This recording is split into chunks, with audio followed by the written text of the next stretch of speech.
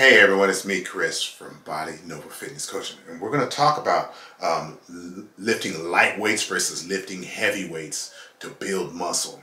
Okay, and you can do both. Some people they they choose one or the other. Um, as, when I work with clients, especially those starting out, I like to have them do.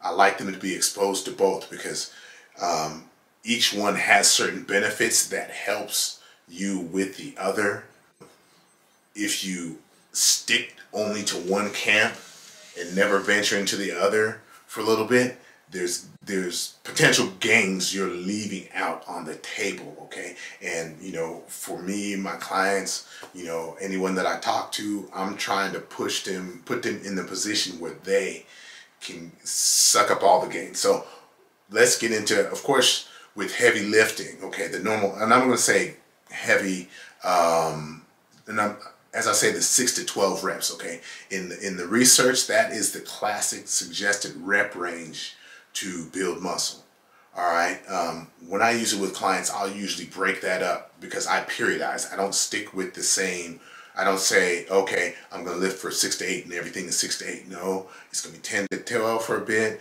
and, and you know, it may be uh, eight to 10 and then six to eight and then, you know, you can flip that around. Okay, that's periodization. Plan changes in training to help you accomplish your goals. Now, um, those are heavier weights, heavier.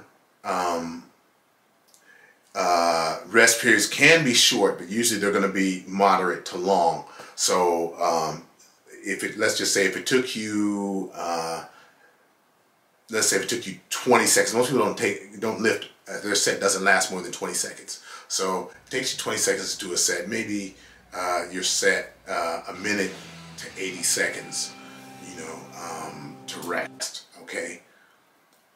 So that's average. You can cut that shorter, but then you're going to run into a deal with your performance. Now, um, when you use lighter weights, those short rest periods become more important because the light weights you're not going to recruit a lot of muscle tissue at first because that's what heavyweights do. The heavyweights send signals to the brain saying, "Oh, shh, we gotta we gotta recruit more muscle to lift this heavy ass weight, right?" All right. So with lighter weights, that's not the case. But so you want to keep the rest period short. Okay. So as you keep the rest period short, those fibers, you know, are gonna fatigue and they're not gonna be able to contribute. So then, you know, you're going to recruit more muscle to do the job and then more muscle and more muscle if you perform this right, if you do this right.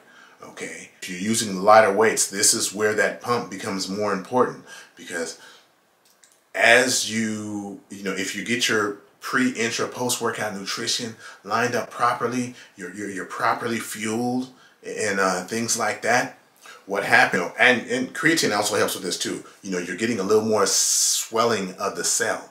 So you're forcing those those uh, muscle cells basically to get create more damage and um, forcing the need for it to grow.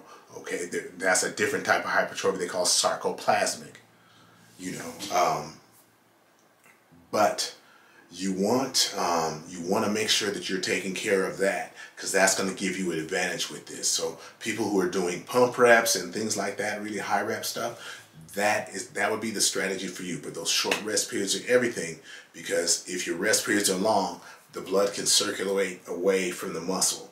Okay, this might be an also an option where you would want to be warm. You want to be warm. So you see some of the old school guys, they're wearing all their sweatshirts and, and baggy clothing and stuff like that. And even though it's a de of decent temperature, that could be why.